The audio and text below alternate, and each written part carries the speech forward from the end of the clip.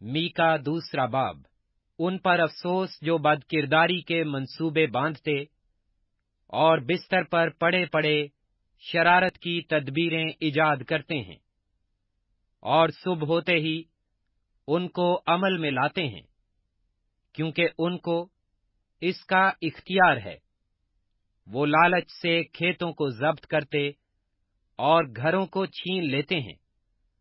اور یوں آدمی اور اس کے گھر پر ہاں مرد اور اس کی میراث پر ظلم کرتے ہیں۔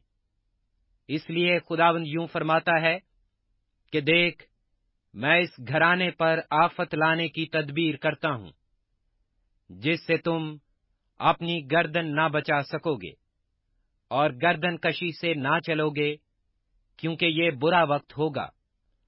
اس وقت کوئی تم پر یہ مثل لائے گا اور پر درد نوحا سے ماتم کرے گا اور کہے گا، ہم بالکل غارت ہوئے، اس نے میرے لوگوں کا بکھرا بدل ڈالا، اس نے کیسے اس کو مجھ سے جدا کر دیا، اس نے ہمارے کھیت باغیوں کو بانٹ دیے، اس لیے تم میں سے کوئی نہ بچے گا جو خداوند کی جماعت میں پامائش کی رسی ڈالے۔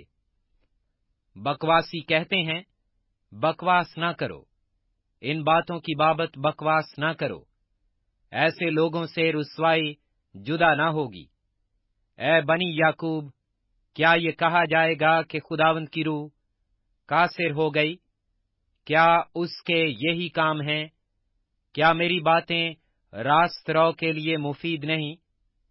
ابھی کل کی بات ہے کہ میرے لوگ دشمن کی طرح اٹھے۔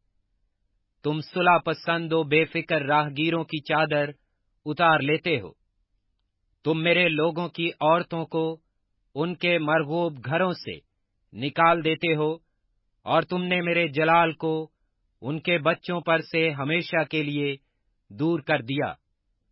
اٹھو اور چلے جاؤ، کیونکہ لا الہ جو مہلک ناپاکی کے سبب سے یہ تمہاری آرام گاہ نہیں ہے۔ اگر کوئی جھوٹ اور بطالت کا پیرو کہے کہ میں شراب و نشے کی باتیں کروں گا، تو وہی ان لوگوں کا نبی ہوگا۔ اے یعقوب، میں یقیناً تیرے سب لوگوں کو فراہم کروں گا۔ میں یقیناً اسرائیل کے بکیا کو جمع کروں گا۔ میں ان کو بسرا کی بھیڑوں اور چراگاہ کے گلہ کی مانند اکٹھا کروں گا اور آدمیوں کا بڑا شور ہوگا۔ توڑنے والا ان کے آگے آگے گیا ہے۔ وہ توڑتے ہوئے پھاٹک تک چلے گئے اور اس میں سے گزر گئے اور ان کا بادشاہ ان کے آگے آگے گیا یعنی خداوند ان کا پیشوا۔